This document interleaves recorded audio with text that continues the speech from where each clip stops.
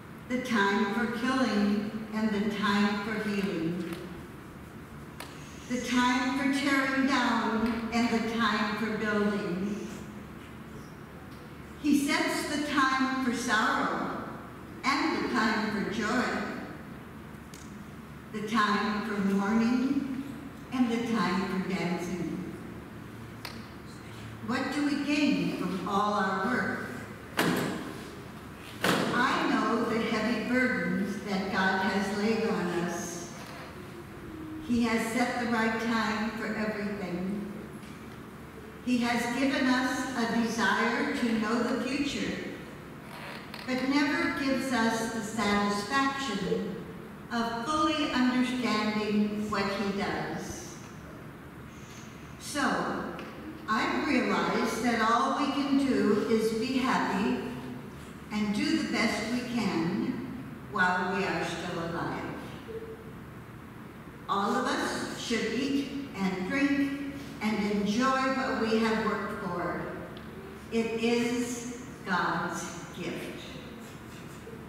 The word of the Lord.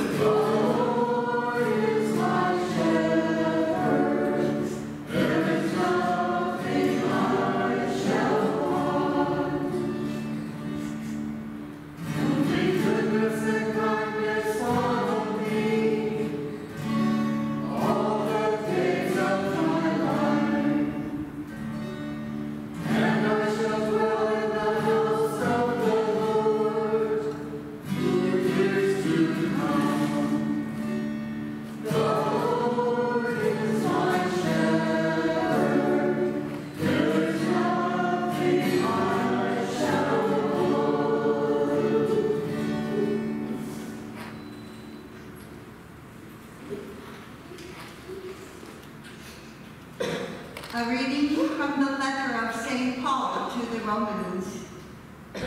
Brothers and sisters, are you aware, I'm aware, that we who were baptized into Christ Jesus were baptized into his death?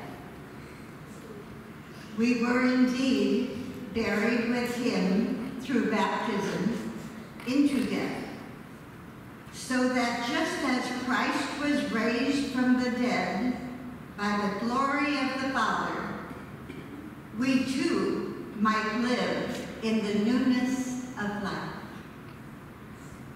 For if we have grown into union with him through a death like his, we shall also be united with him in the resurrection we know that our old self was crucified with him, so that our sinful body might be done away with, that we might no longer be in slavery to sin. For a dead person has been absolved from sin. If then we have died with Christ, we believe that we shall also live with him. We know that Christ, raised from the dead, dies no more. Death no longer has power over him. The word of the Lord. Thanks be to God.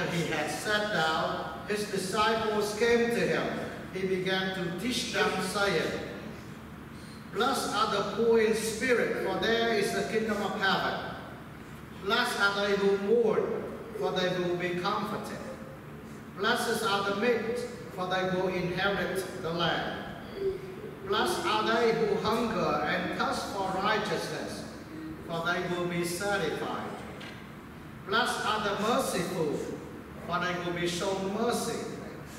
Blessed are the clean of heart, for they will see God. Blessed are the peacemakers, for they will be called children of God.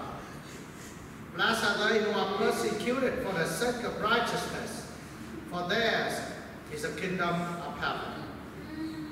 Blessed are you when they insult you and persecute you and utter every kind of evil against you falsely because of me. Rejoice and be glad, for your reward will be great in heaven. The Gospel of the Lord.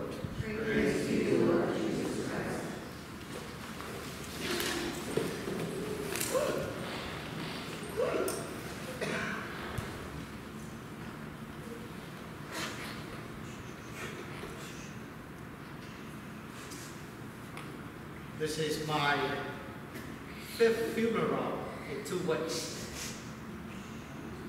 Uh, since January, there was no funeral, and then the last two weeks, there are five of them who passed. You can see the great-grandchildren are having a little emotion here. That's show us that's part of human life that we don't like separation. We don't like death. Because it not only is scary, but it means that, oh my good, is there a possibility that I don't see that person again?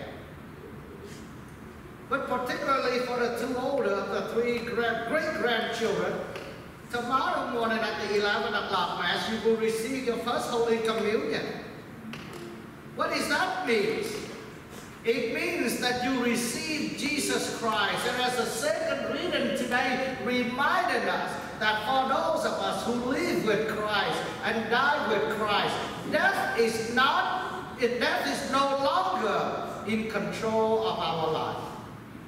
That your great grandmother have physically passed, but she's always there with you, by your side.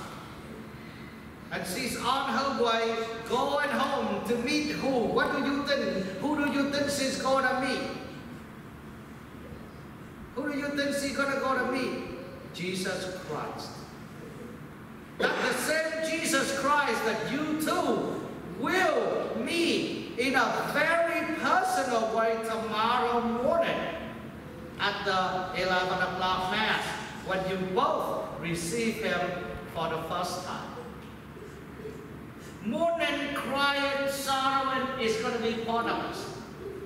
But I am asking the two great grandchildren that because you love her, tomorrow and at your first communion, can you do her a big favor? You promise? That you would tell Jesus for the first time in your life you receive him, that you want to offer that grace for the repose of the soul of your great grandmother. Not the greatest gift you could ever give to them. The grace of God bestowed on you personally for the first time in your life. Ask God that you could offer that grace that God bestowed on you to the souls of your great grandmother. I visited Eileen a few times and it's always confused me, thanks to Casey for the confusion. Until after she passed away, then I straightened out the confusion. She called the lady we celebrate the Mass today is her grandmother. Ruth Ann called her sister. KC called Ruth Ann my aunt. Does it make sense to you? If that is her aunt, how is her sister Eileen become her grandmother? You got it? Or you lost? Just like I. Eileen is Ruth Ann grand sister. And that means uh, Ruth Ann should be her her grand aunt, not her aunt. Am I right? What's that? We don't do it that way in the United States. We that in United States? Oh, you guys confused me, the Vietnamese language. That you call her my grand aunt, not aunt. Because your aunt means this is your mother, not grandmother. Because the aunt and the mother, you know what I mean, on the same level, and you have the grand and you have the great grand, right? You don't have the aunt and the great like this. So to say, now I visited her a few times, but I want you to straighten it out for me, because I'm confused who she really is.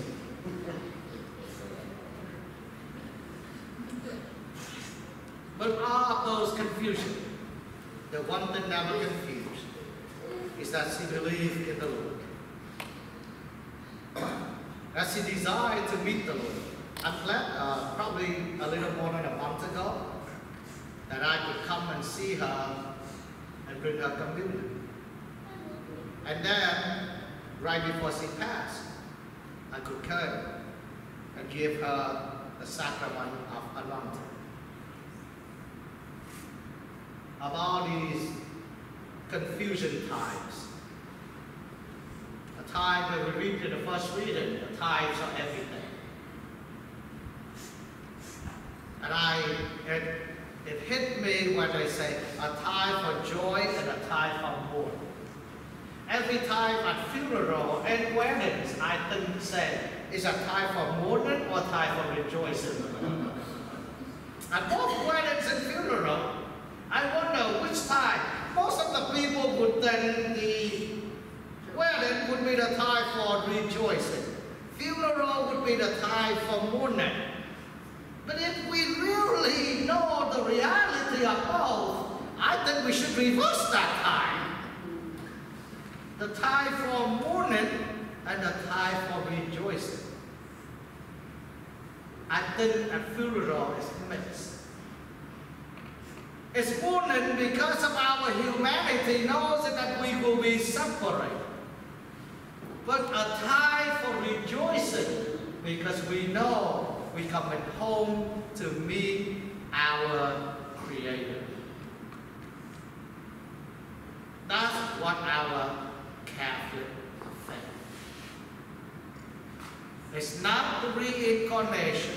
It's not that we go in somewhere, or it's not it's the end, but it's a beginning of eternal life.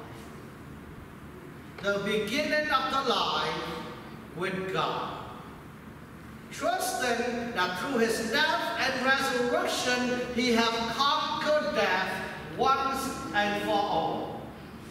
And that by knowing, believing, and serving him here on earth, sound like the Baltimore catechism, we will be with him. Not just have to wait to the last day, but that journey begins at the moment of the importance of this earthly life.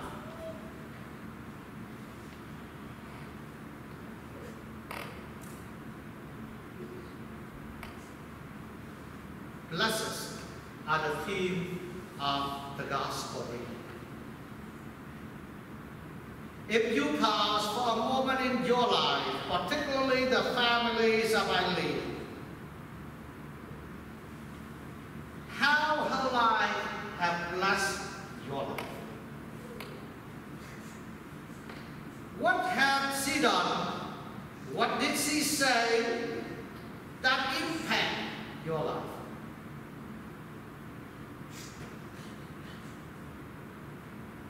that makes your life a little different.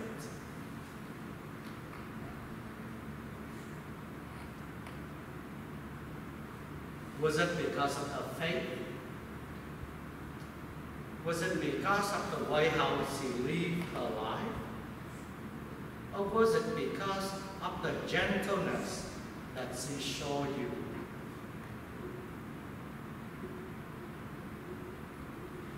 So as you and I and the parish family of St. Boniface gather here today, what is the point? Unlike most other religions, we don't gather here just to celebrate a life. That's part of it. But not just that. Or we gather here so that uh, we can show you, Ruth Ann, and the family our sorrows and telling you that we feel bad for you. No, we don't just gather for those things. Yes, those are part of it. But we gather here for the most important things. To offer her our prayers so that all the temporal punishment that clings to her through her personal sin may be eliminated, may be taken away, so that she can free to go home with God. And that is why we gather here. That's the main reason we gather here. You know, in my life, I have attended many other religions funerals, from Buddhists to Muslims to Jewish to uh, Protestants, and I may be in part of them. And sometimes I'm sitting there and I'm wondering, I am so glad I'm a Catholic. I don't if you do that, but I, because it's not just a time together, talk about how wonderful, but it's a time to gather together to show our faith, to know that even in death, that person is not alone on the journey. And I'm so glad that one day when I die, I won't be alone on my journey to go to that place. but I know the communions of saints, the communions of the already glorified people in heaven, the ones who are on the way to heaven, and the people who live in here on earth is walking with me by my side. And for that I am grateful. That's why we gather here. That's why we gather here. On the way I came here, I got a phone call from an unknown person. I don't know how that person get my phone. Don't ask me. That person called me and asked me an advice for what should that person do with her mom who's dying. She said, well, my mom is a Catholic, so I am not. And I didn't have time to go on and ask, because on the way I'm driving here, seven minutes from Lincoln to here, uh, but I am not, and I wonder why. But anyway, uh, what can I do for her? Because she's dying. And I was like, food, perfect, I'm on my way to a funeral. Perfect question. So I told her, uh, you know, you need to call the priest man. That's the most important thing. Make sure the priest come. Would the priest come during the COVID time, Father? I asked her, where do you live? She said, I live in New York. I said, good luck. I'm serious, you know, you know what I'm talking about. I said, well, if, I, I, and she said, well, uh, well, I didn't say good luck. That's what I think, okay? I didn't say that, you know. I try to be very pastoral during this time. Even I would want to say luck, but I try to be very pastoral. I say, well, you know, try first. If you call that and if it doesn't work, you know, uh, call the told them, you know, they may have somebody or the hospice that they send it to. But, uh, and I thought, I'm sorry, but if you live within two hours from where I am, I'd be happy to come and I want the, the priest can come. But this and that, not just because we do it because it looks good. Do it because that's what we believe. We don't do it for the good to look. We do it for the, the belief inside, for the truth that we have. We don't do it for the look, we do it for the truth.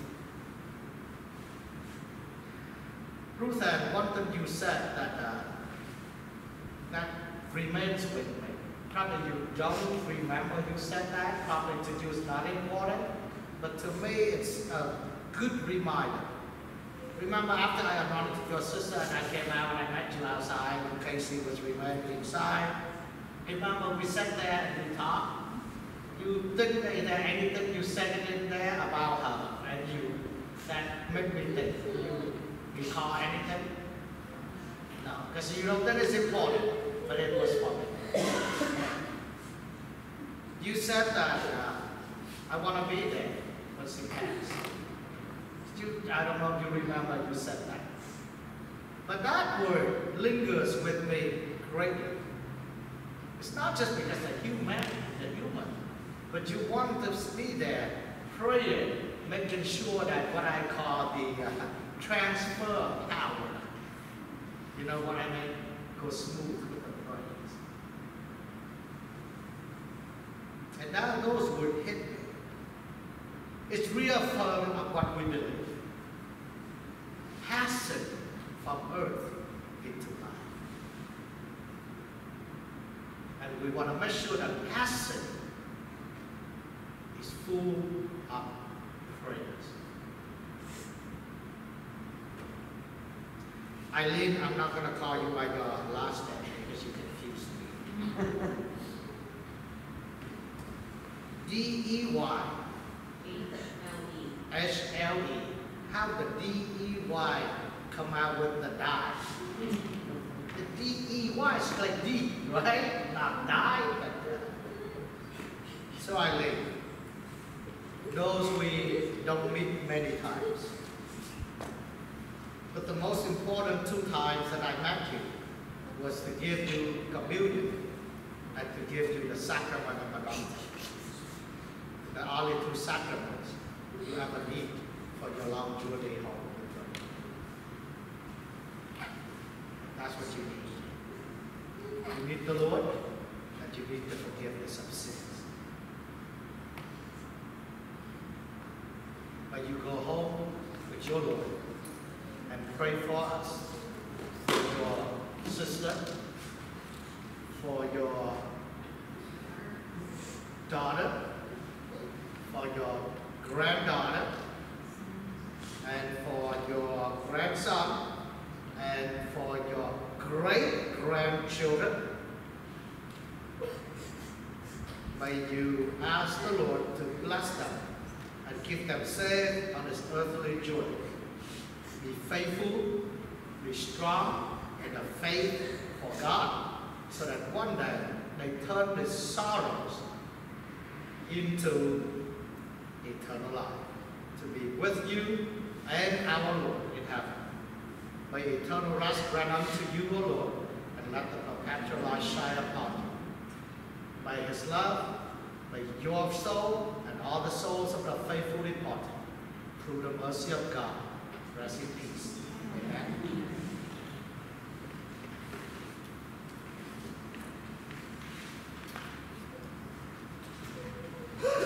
You can remain for a little.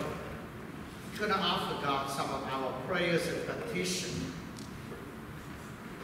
We pray for Eileen, who received the light of Christ, scatter the darkness now and lead her over to the waters of death.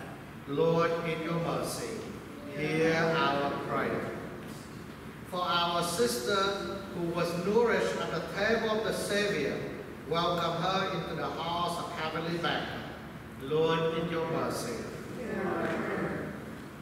Many friends and members of our family has gone before us and await the kingdom. Grant them an everlasting home with your Son. Lord, in your mercy.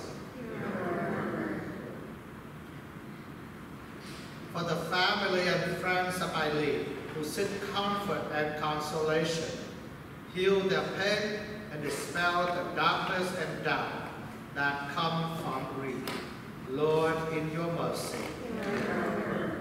We are assembled here in faith and confident to pray for our sister Eileen. Strengthen our hope so that we may live in the expectation of your son's coming. Lord, in your mercy. O Lord, our God, the giver of peace and the healer of souls, hear the prayers of the Redeemer Jesus Christ and the voices of your people, whose life was purchased by the blood of the Lamb. Forgive the sins of all who sleep in Christ and grant them a place in the kingdom. We ask this through Christ our Lord. Now we gonna do the offertory.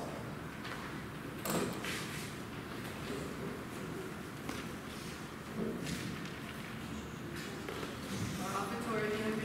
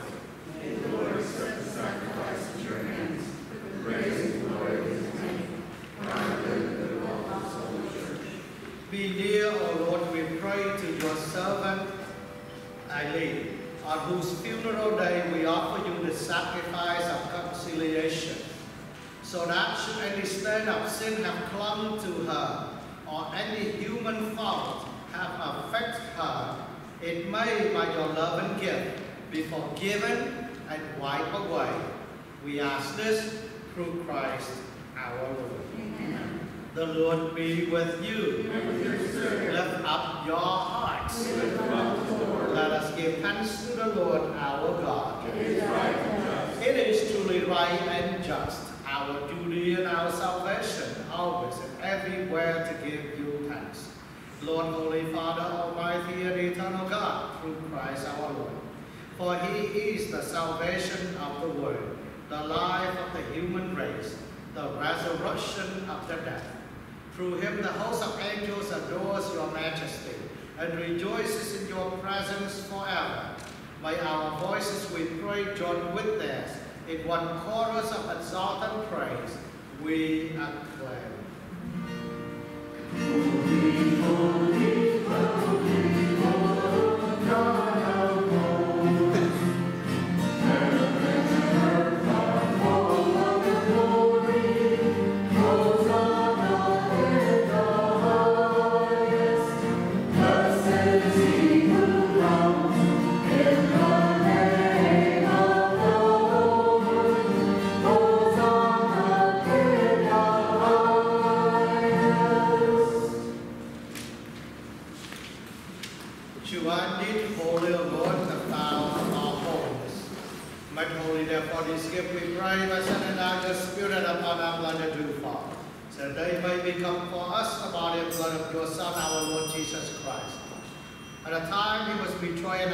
after worldly dispassion, he took bread, even hands broken, he gave to his disciples, saying, Take this on you and eat of it, for this is my body, which will be given up for you.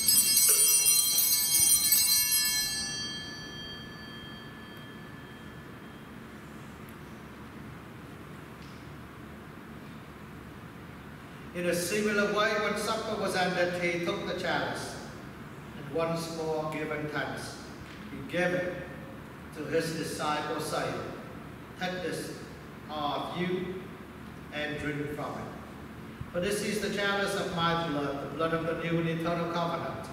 This will be poured out for you and for many, for the forgiveness of sins. Do this in memory of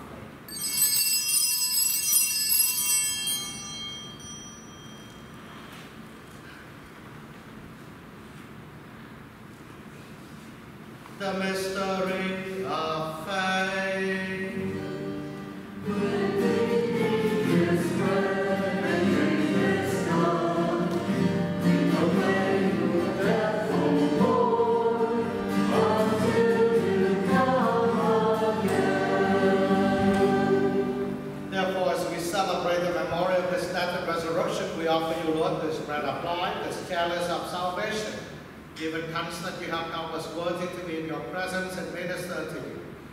Humbly we pray that partaking of the body and blood of Christ, we may be gathered into one by the Holy Spirit. Remember, Lord, your church spread throughout the whole world and bring her to the fullness of charity. Together with Francis, our Pope, Stephen, our Bishop, and all the clergy, and the entire Your Boniface family.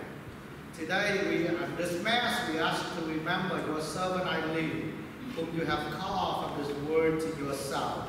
Grant that she who was united with your Son on the death likeness may also be one with him in the resurrection. Remember also our brothers and sisters who have fallen asleep in the hope of resurrection and all who have died in your mercy. Welcome them into the light of your face. Have mercy on us all, we pray, that with the Blessed Virgin Mary, Mother of God, Blessed Joseph, her spouse, blessed apostles, and all the saints who have pleased you throughout the ages, we may merit to be co-heirs to eternal life. May praise and glorify you through your Son, Jesus Christ. Through him, with him, and in him. O God, Almighty Father, the unity of the Holy Spirit, all glory and honor is yours, forever and ever.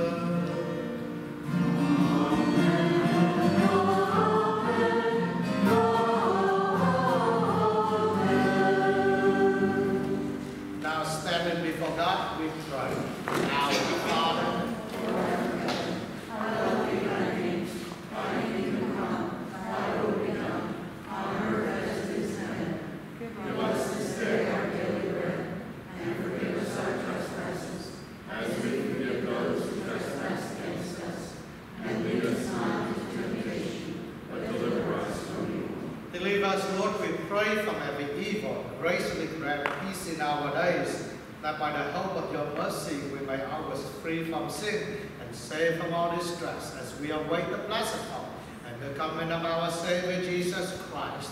The kingdom, the power, and glory are yours now forever. Lord Jesus Christ, said to your apostle, I leave you peace, and my peace I give you. Look not on our sins, but on the faith of your church, and graciously grant us peace and unity in accordance with your will, who live and reign forever and ever. Amen. Peace of the Lord be with you always. With your spirit. And we offer all the desire of God's peace be made in our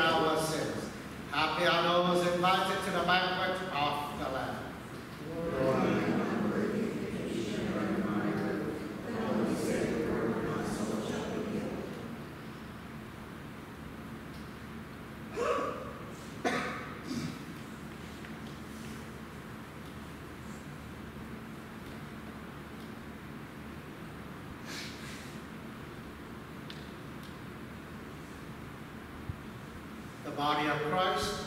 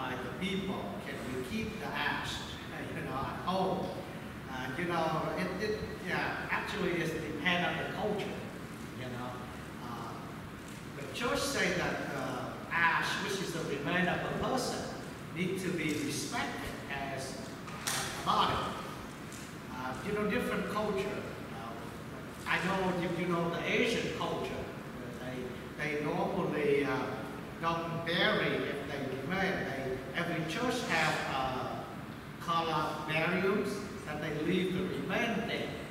Uh, uh, and not, you know, go to the seminary, cemetery uh, uh, to, to be buried. And that's something probably is came from my culture, but when we was thinking about building the church, I talked to Jerry. I said, I like that idea. You know, I want to do uh, columbariums here next to the church. You know what I mean? A little thing. So that's how we taught our children to pray. And even those who die knowing that they're not separated with their family in a sense that the family, church family continue to pray for them.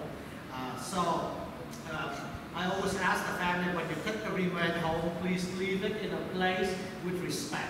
You know, because a lot of them, uh, sometimes I visit family uh, when I moved to a new church, and uh, husband or a wife went to a corner of the thing, digging out uh, uh, uh, herb, that's what we call. You know, oh, this is the reminder of my husband, and I went, huh? Uh, you put it in you know, but so it's a respectful we do that. So I always remind people that you know we respect that as a body of, of a person.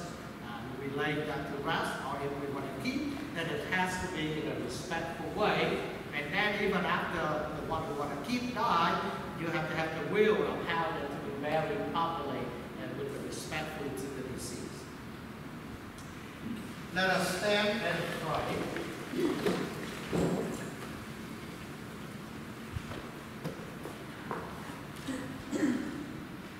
Grant, we pray, Almighty God, that your servant Eileen, who has journeyed from this world, may by the sacrifice be cleansed and free from sin, and so to receive the everlasting joys of the resurrection. We ask this through Christ our Lord. Before we go our separate way, let us take leave of our sister. By our farewell, express our affection for her. May it ease our sadness and strengthen our hope. One day, we shall joyfully greet her again when the love of Christ, which conquers all things, will destroy even death itself.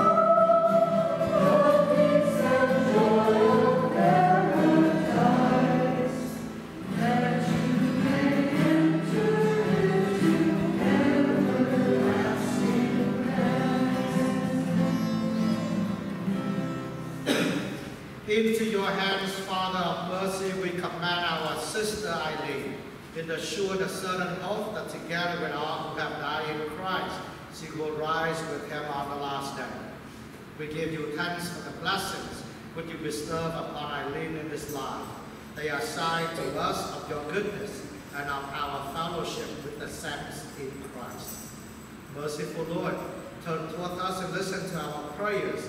Open the gates of paradise to your servant, and help us to remain to comfort one another with assurances of faith until we are meet in Christ and are with you and with our brothers and sisters particularly Eileen, forever. We ask this through Christ our Lord. May the angel lead you into paradise. May the martyrs come to welcome you and take you to the holy city, the new eternal Jerusalem.